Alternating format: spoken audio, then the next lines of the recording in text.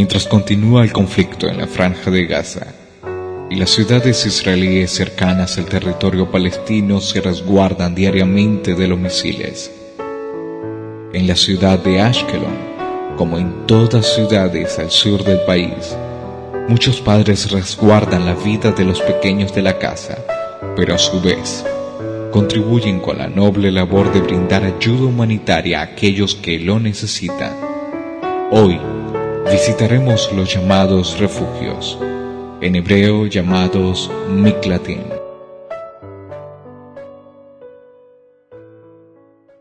מקלט זה מרחב מוגן שהטילים שנופלים באשקלון לא יכולים ליפות פה כי זה מוגן והם נופלים, יכולים ליפול רק למעלה, במקום הזה לא יכולים ליפול וכל הילדים של עובדי קופת חולים לאומית נמצאים פה בגלל שההורים שלהם הם רופאים ואחיות והכל אז החליטה ההנהלה להביא את הילדים לפה כדי שיהיה להם מרחב מוגן, שיהיה להם כיף פה כי אי אפשר, הם לא יכולים להישאר בבית הם...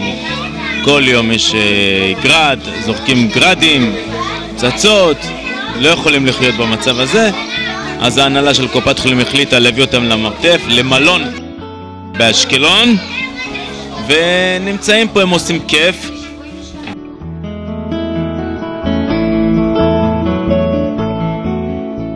Estamos conociendo a uno de los refugios de la ciudad de Ashkelon. Queremos saber cuál es la situación de aquí y cómo se encuentran ellos y qué están haciendo. Es uno de, los, son hijos de personas que están trabajando y no pueden cuidarlos y no quieren tenerlos en su casa. Que, eh, están más seguros de tenerlos aquí en estos refugios.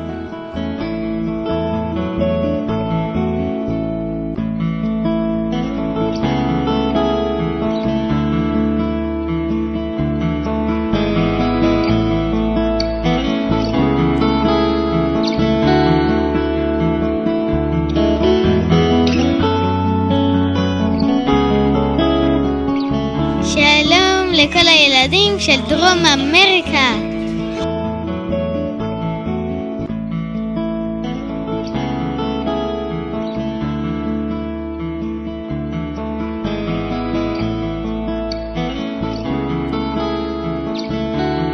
Eh, y estamos viendo la situación de cada uno de estos niños, eh, de cómo, de cómo se, se siente. Ellos están diciendo que se sienten con, con miedo, que ellos están aquí porque no hay limudim, no hay estudios. קצת קשה. קצת קשה? כן. אתה קצת... במקלט באשקלון, בגלל שכל האנש... כל ההורים שלנו עובדים בשביל... הם עובדים ואנחנו צריך... אנחנו לבד בבית ואין איפה שנהיה. לבד בבית ולא נמצאת בבית ספר או בלימודים? כי עכשיו שביתה בגלל הקסאמים שנופלים כאן ו... והמורות גם כאילו פוחדים בכלל שנבוא לבית ספר שלא ניפגע. את מרגישה שנופלים קסאמים ואת חוששת להיפגע? אה, לא נעים. כאילו, לא... זה לא... זה לא משהו חדש, אבל עדיין, קצת פחד. הכל... אנחנו מתרגלים לזה לאט לאט. כן.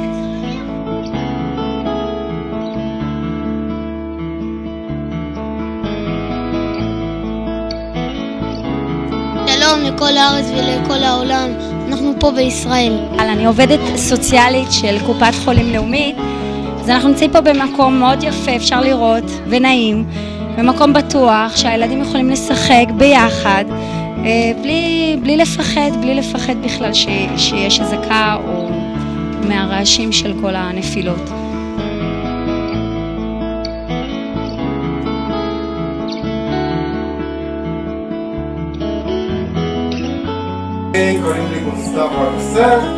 באתי לפה לעשות קצת שמח בין כל הבלגן שאנחנו עוברים יום יום, אני גם פה באשקלון, אז אני יודע מה אתם אה, מרגישים.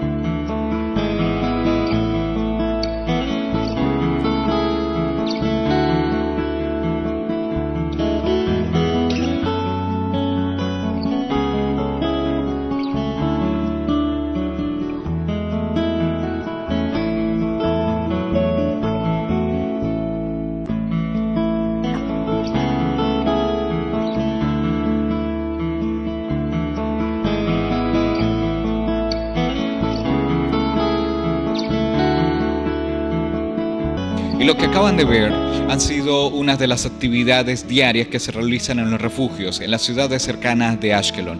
A mi lado se encuentra a Gustavo Yusim. Gustavo es un Ole Hadash, podríamos decir que es un El lleva ocho años en el país. Gustavo, ¿cuál ha sido tu, sentimiento, tu reacción? ¿Qué es lo que te motiva a, asistir y a ser parte de manera voluntaria hacia estas actividades que se realizan en, los refugios? Bueno, ante todo, gracias a Radio Lev por esta nota. Y bueno, mi idea es aportar mi pequeño granito de arena en medio de esta guerra eh, donde mucha gente está sufriendo. En este caso hablamos de chicos que son hijos de enfermeros y médicos que en este momento están ocupando, atendiendo heridos en los hospitales y los chicos están solos en uno de estos refugios que hay aquí en Ashkelon. La idea era venir y darles un poquito de alegría, traerles mi magia, mis palomas y hacerle pasar un momento lindo y agradable en medio de este difícil momento. Hace unos días atrás comentamos y con nuestro amigo Luis Pesinei sobre la imagen que refleja Israel en el mundo internacional. Todos pensamos de que la situación eh, candente, la situación fuerte solamente se vive en la zona de la franja de Gaza, pero no es así. Yo particularmente también vivo en la ciudad de Ashkelon y continuamente estamos muy pendientes de las alarmas y de las eh, de todos estos acontecimientos que suceden día a día, que lamentablemente no podemos decir de que es una semana. Y tú, Gustavo, que vives aquí, eh, podrás eh, decirnos un poco sobre no solo la actividad que se está sucediendo en estos últimos días, sino hace unos meses atrás, ¿qué pasaba en Ashkelon? O en otras ciudades cercanas a la franja de Gaza? Bueno, ante todo es darles al mundo la verdadera imagen de lo que está pasando acá, donde la prensa distorsiona constantemente las noticias. Esto no es ni de días ni de meses, esto estamos hablando de ocho años que el sur de Israel viene eh, eh, soportando la caída de misiles, que son misiles que matan, que hieren y que destruyen.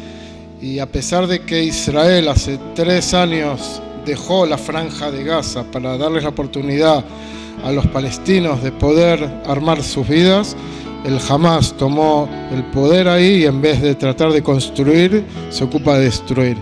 Nosotros nos estamos defendiendo, esta es una situación que ya no se aguantaba más y bueno, confiamos en nuestro ejército, del que estamos muy orgullosos y esperemos que esto pronto se resuelva porque lo que queremos es la paz, lo que buscamos todos. שלום לכל הארץ ולכל העולם, אנחנו פה בישראל.